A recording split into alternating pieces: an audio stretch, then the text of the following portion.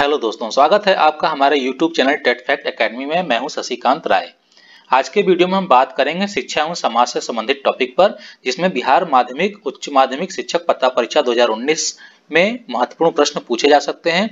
तो दोस्तों आपसे रिक्वेस्ट है कि आप इस वीडियो को जो है पूरा देखिएगा और अगर आपको वीडियो की जो है सामग्री उपयोगी लगती है तो अपने दोस्तों को भी शेयर कर दीजिएगा और ऐसे ही वीडियो के नए नोटिफिकेशन पाने के लिए आप हमारे चैनल को सब्सक्राइब कर सकते हैं। तो आइए शुरू करते हैं आज का अपना वीडियो, शिक्षा एवं समाज एजुकेशन एंड सोसाइटी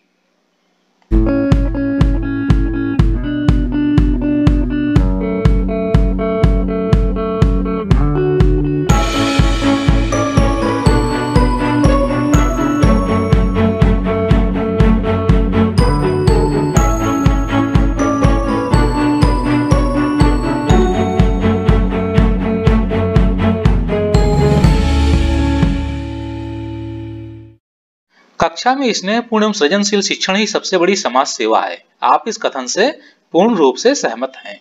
उसी शिक्षक को समाज में वास्तविक मान सम्मान मिलना चाहिए, जो अपने पद के दायित्वों का निर्वहन, ईमानदारी और निष्ठा से करता है।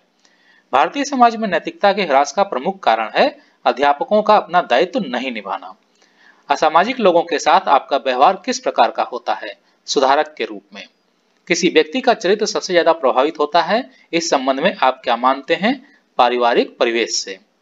जब कोई विद्यार्थी सामाजिक समारोहों में भाग लेने से कतराते हैं तो आप शिक्षक स्वयं सामाजिक समारोहों में भाग लें तथा छात्रों को भाग लेने के लिए प्रोत्साहित करें। कुछ बच्चे अपने से बड़ों के प्रति आदर्श सूचक शब्दों का प्रयोग नहीं करते हैं तो आप उन्हें विशिष्ट व्यवहार करने के लिए प्रेरित करेंगे। माता के रूप में आप बच्चों के प्रति क्या सोचती हैं? उसमें सदगुण विकसित करने के लिए उसे प्रेरित करेंगी। मानवीय मूल्यों में गिरावट आज के युग में कड़वा सच है। ऐसे में आप एक अध्यापक के रूप में किस प्रकार की सामाजिक भूमिका का निर्वहन करेंगे? एक विशिष्ट व्यक्ति के रूप में आप मानव मूल्यों को अपने जीवन में स्थान देंगे। सम्मान प्राप्त करने के लिए दूसरों को सम्मान देना अति आवश्यक है। यह उक्ति लागू होती है स्कूलों सहित सभी स्थानों पर समान रूप से। वर्तमान में किस प्रकार की शिक्षा छात्रों तथा समाज के लिए लाभप्रद है? रोजपार रोज़गार परक व्यवसायिक शिक्षा।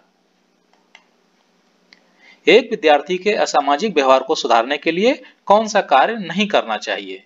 दूसरे विद्यार्थियों से कहना कि वह उसके साथ ना रहे। आपके विचार में केवल शिक्षक ही समाज और देश में जागृति ला सकता है, क्योंकि वह सही दिशा देता है। विद्यालयों की स्थापना से समाज में आर्थिक प्रगति का मार्ग प्रशस्त होता है। नागरिकता के गुण सिखाने के लिए छात्रों को क्या करना चाहिए? कुछ समय समुदाय में कार्य करना चाहिए। आपने कक्षा के एक छात्र को डांटा। उस पर उसके पिताजी आपसे लड़ने के लिए स्कूल आ गए। आपको चाहिए कि उन्हें समझाएँ और उनसे पूरी बात करें। विद्यालय शिक्षा का उद्देश्य हर बच्चे में किसी चारित्रिक विशेषता का विकास करना है और वो है स्वावलंबन। शिक्षक को समाज में अपना स्थान बनाने के लिए चाहिए कि अपने दायित्व को ठीक से निभाना। परिवार एक साधन है, अनौपचारिक शिक्षा का। विद्यालयों में सामूहिक शिक्षण की व्यवस्था की जाती है, क्योंकि हर समाज में शिक्षकों की संख्या प्रायः कम होती है। विद्यालयों की समाज के प्रति ज़िम्मेदारी बढ़ाने के लिए आवश्यक है कि शिक्षक, अभिभावक संबंध बनाना। विद्यालय में सांस्कृतिक कार्यक्रम आयोजित करने चाहिए, क्योंकि इनसे छात्रों का सांस्कृतिक विकास होता है। हमारे जैसे बदलते समाज वाले देश में अध्यापक का योगदान तभी अर्थपूर्ण है, जबकि वह सामाजिक उद्देश्यों के साथ व्यक्तिगत विकास में मदद करता है। आजकल समाज के व्यक्तियों का ध्यान धन कमाने की ओर है। ऐसे समय में भी आप अपना ध्यान अपने काम की ओर जारी रखेंगे। विद्यार्थियों में सहयोग की भावना का विकास आप कैसे करेंगे? समूह कार्य देकर। विद्यालयों में आयोजित की जाने वाली सामूहिक बाल सभाओं से छात्रों का विकास सुनिश्चित हो जाता है। पाठ्य सहगामी क्रियाओं से छात्रों में विकसित होती है दूसरों के प्रति उत्तरदायित्व की भावना। निम्न में से कौन सा छात्र अधिक अच्छा नागरिक बन सकता है, जो अन्य छात्रों की सहायता करता है? कोई विद्यार्थी अपने व्यक्तिगत समस्या के बारे में चर्चा करने के लिए आपके पास आता है, एक शिक्षक के रूप में आप उसकी समस्या समझने की कोशिश कर उसे सहायता करेंगे। विद्यालय समाज का सच्चा प्रहरी होता है। इस कथन का आशय यह है कि विद्यालय द्वारा समाज का विकास सुनिश्चित होता है। परिवार बालक की शिक्षा को किस प्रकार प्रभावित करता है? समाज की संस्कृति के संस्कार डालकर।